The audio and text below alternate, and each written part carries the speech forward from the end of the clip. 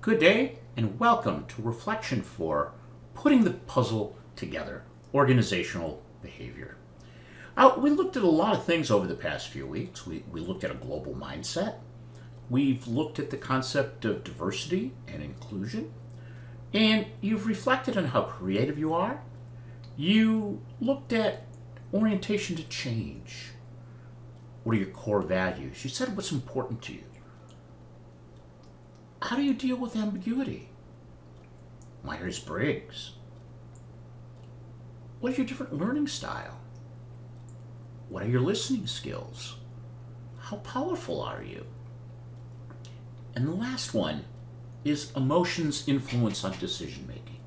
So you've been reflecting over the semester on some of these key things that will make you a more successful individual, either as a team member or as a leader in your organization. These are all life skills, but we've looked at a lot of them. In the last reflection, we started to tie them together a little bit. And I mentioned to a number of you folks, there's no right or wrong answer around this. It's your perspective in your point of view. It's who we, how you are. What do you need to know? Why do we need to know this? Well, because we can focus and build on our strengths, and we can develop an improvement plan for those things that we'd like to build up. And one of the things we come back to is, is Dr. Deming is continuous improvement, which is the plan, do, check, act. So this continuing cycle, what to do, how to do it, do what was planned, doing things according to the plan, check to see does it work, is it working, and then how do you improve next time. So this is reflection four where we try to tie everything together. Be patient, just like a puzzle. It takes time for all the pieces to come together. It's always the small pieces that make the big picture.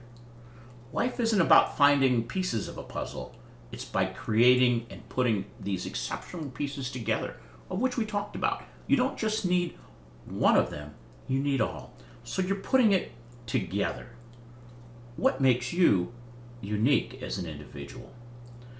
With that as sort of an overview, what do you need to do? First thing, gather information by reviewing everything you did for each section. Then, identify two strengths and two opportunities for personal growth in each section, except for core values. Your core values are your core value. Um, then, summarize the information. After you go through all these categories, list them out two and two. I don't want three and three, two and two. Summarize all the information. Identify your key strengths and weaknesses. Not all of them, but the top ones. This will be a little harder as you try to identify the most important ones. Okay, what's the stand plan, Stan? Well, develop a plan for your personal growth over the next year. I'm only looking for one year. Identify two specific things you want to improve on in the next year.